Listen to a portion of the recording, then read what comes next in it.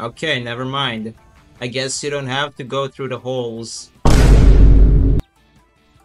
Going through people's holes is uh, overrated anyways. Hmm.